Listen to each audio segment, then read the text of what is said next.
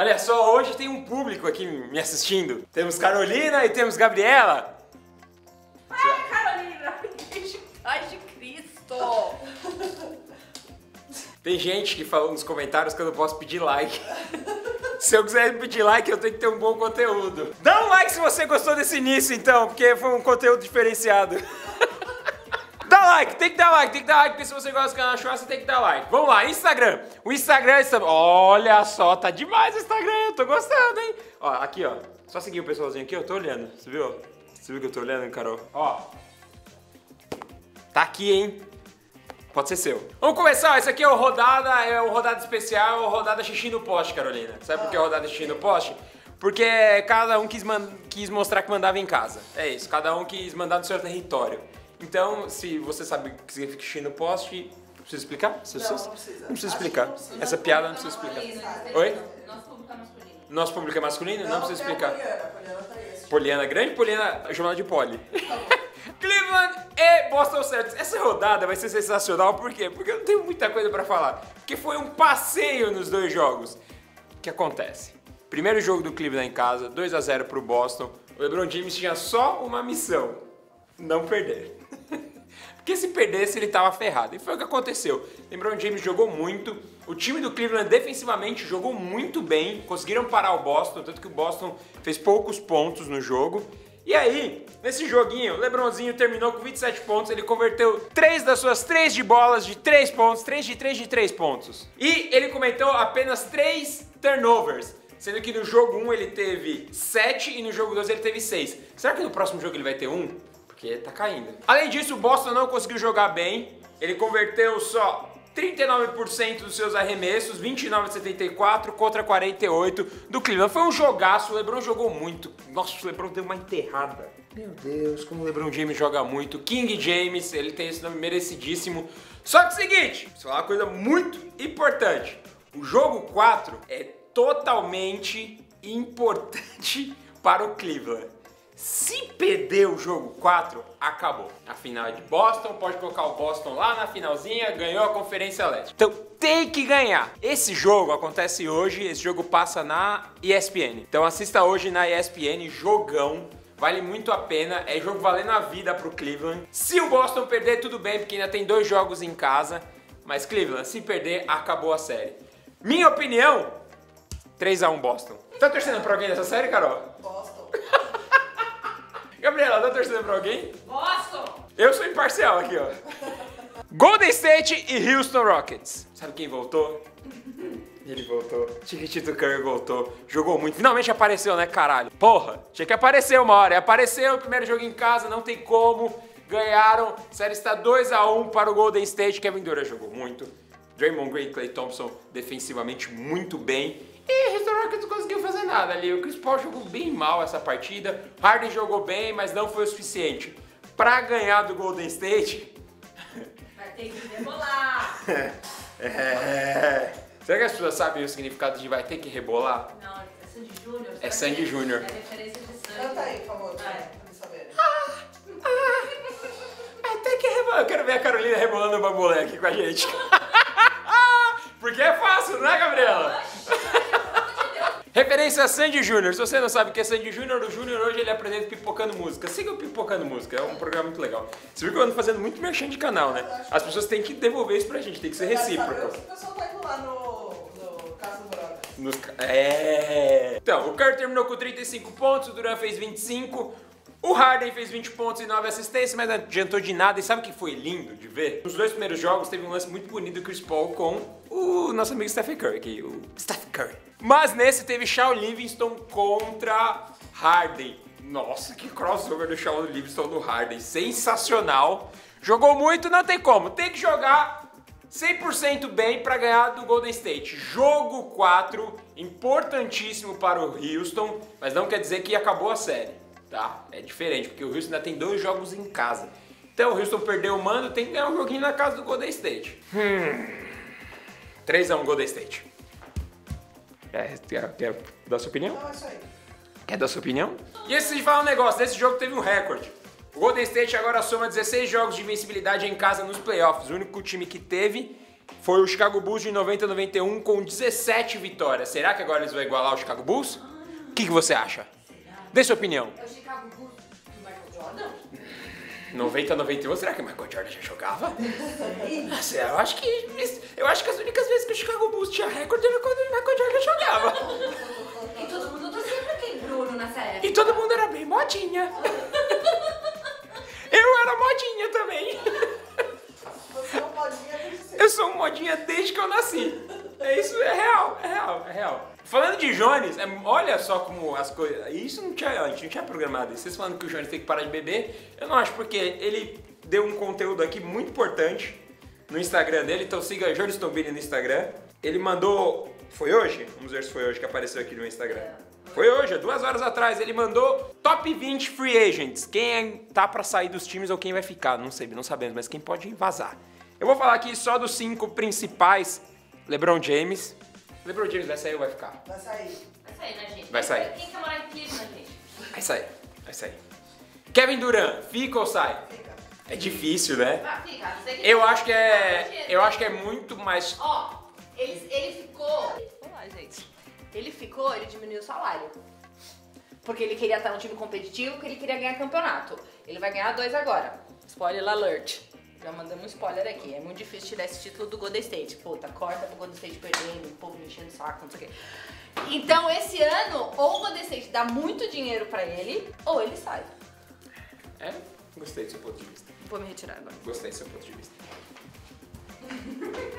Ele fica. Chris Paul, fica ou sai? Então eu não sei se o Chris Paul fica. Puta, então, também não sei. Eu não sei se o Chris Paul fica. Eu acho que o Chris Paul foi, mesmo esquema de um outro jogador que eu vou falar daqui a pouco. Acho que ele foi pra ficar um aninho e tentar. Se, por acaso, o Houston chegar nas finais, eu acho que se o Houston passar do Golden State, eles são campeões. Essa é a minha opinião. Se chegar a ser campeão, eu acho que ele fica mais um ano. Agora, perdendo um... Então, mas é uma, uma coisa que deu certo, né? Então, Uma mistura que deu certo ali. Uma mistura que. Que bonitinha, Carolina, né? É muito culinária, Não, né? Tipo... então, o Chris Paul. Usa, refer... Usa referência... Culinarísticas. Culinarísticas. Foram temperos que isso. Eu queria falar que o Chris Paul é o tipo a carta do Uno 4.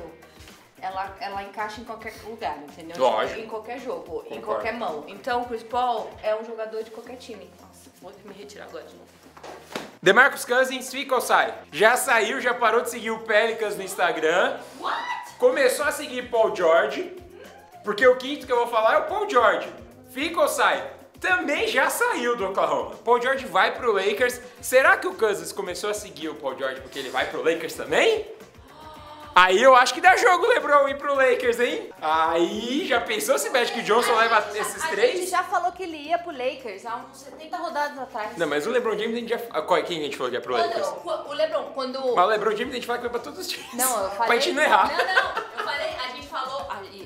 Colocar na bunda de todo mundo. A gente falou porque ele comprou uma outra mansão em Los Angeles já tá se estruturando todinho ali. O resto, segue lá o Jones que tem o top 20. A gente não vai ficar falando de todos aqui. A gente vem discutindo muito sobre o pessoal, é, como se diz a palavra certa? Novato. É, os novatos, os rookies. Ah, quem são as promessas? Nós temos uma grande promessa aqui, eu fiz questão de trazer hoje aqui no meu bolso. Nós temos uma grande promessa aqui, ó, chamada Lonzo Ball. Tá filmando legal, Carol? Você pode fazer uma pesquisa pra mim, rapidinho? Quantos anos tem Lonzo Ball? 20 aninhos nas costas, um excelente jogador, uma promessa, um menino raro. Não é fácil você encontrar um jogador como esse, que é grande diferencial. Vai ser o rookie do ano, não vai ser o rookie do ano? Já dizia Lavar Ball ano passado. Então eu esperei muito por esse momento.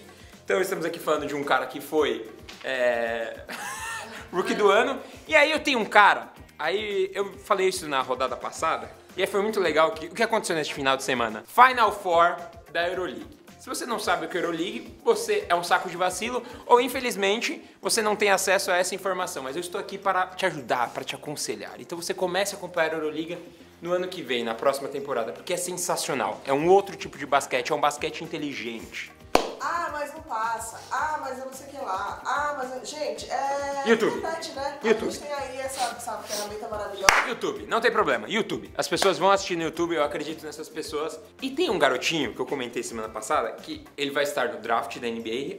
Quer dizer, não, ele tá confirmado? Ele tá confirmado. Mas ninguém sabe ainda. É, tudo pode acontecer ainda, todo mundo pode tirar um nomezinho ainda. Ele pode ser o que chamam de stash, que é a pessoa que põe o nome no draft, que é draftado, mas que escolhe continuar na Europa, no caso, entendeu? Mas tem contrato com, no caso, o. Quem que é? O Phoenix Suns, que é o primeiro, né? Muito provavelmente. Phoenix Suns é o primeiro. Então vai ser isso. Mas ele não confirma. Por que, que ele não confirma? Porque ele não é trouxa. Porque ele vai ter um contrato com o Real Madrid, ele acabou de ganhar a porra toda e ele não vai ficar falando do futuro, sendo que ele tem ainda muita coisa pra conquistar com o Real Madrid. Enciclopédia humana, Gabriela. Desculpa, 19 Eu anos completados dia 28 de fevereiro. 19 agora, anos, Agora. 28 de fevereiro. Este garotinho é um prodígio. Quando ele tinha 16 aninhos, nós encontramos ele aqui no ginásio de Ibirapuera, era Bauru contra o Real Madrid. ele Nós sabemos quem era esta pessoa, falando por que este garoto está ali. Nós descobrimos agora, hoje, tudo, tudo confirma o porquê que ele estava naquele banco com 16 anos. Por quê? Além de ele ter feito uma atual campanha, uma campanha excelente no Eurobasket, for- pela sua seleção.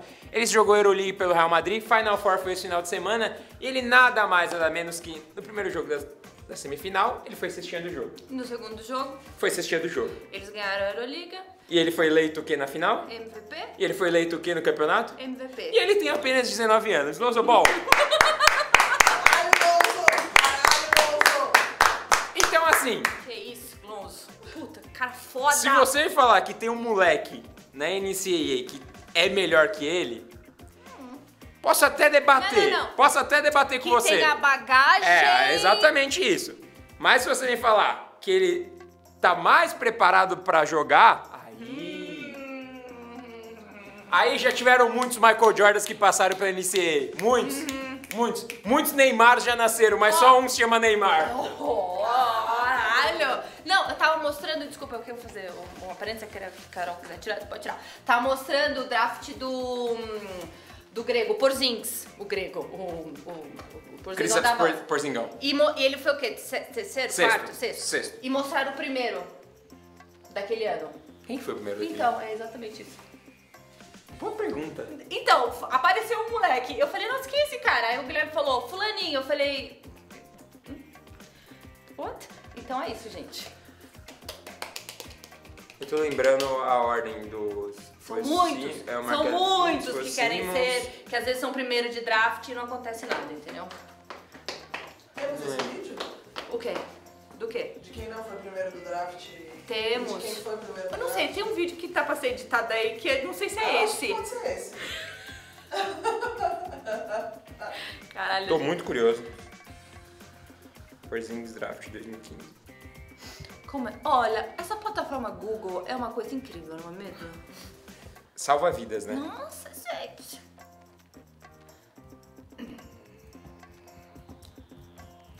Não. Não, não era esse aí, não.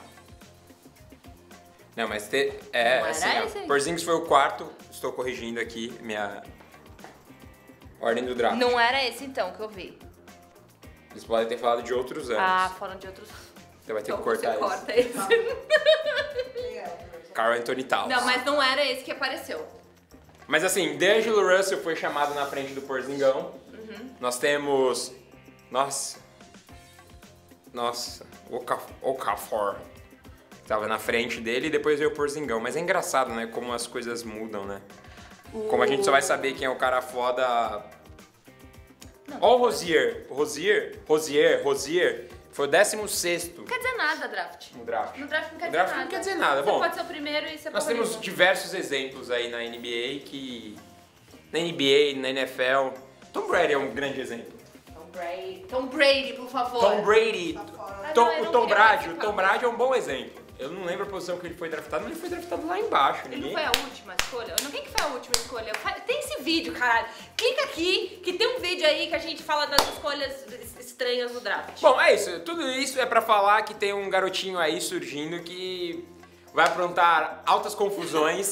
E muito provavelmente vai ser titular do Phoenix Suns, vai ter espaço. Ele é armador. Phoenix Suns tem Devin Booker ali pra ele só vai- tem coleguinha pra jogar já. Se Esse- pegar ainda mais um pivôzão ali, aí, Suns entrando no playoffs ano que vem, todo mundo começando a ficar modinha pra torcer pro Luquinha. O Luca da galera. Pode ser que eu traga um chaveirinho aqui, quarta-feira. É. Pra Ah, apresentar comigo. Agora termina esse programa. Ah, mas é isso. Ah, Bruno, fiquei chateada agora. Não, vem aqui. Não fica chateada. Chateada. chateada. Eu não, eu não vou trazer, eu não vou trazer o chaveirinho, fica tranquilo.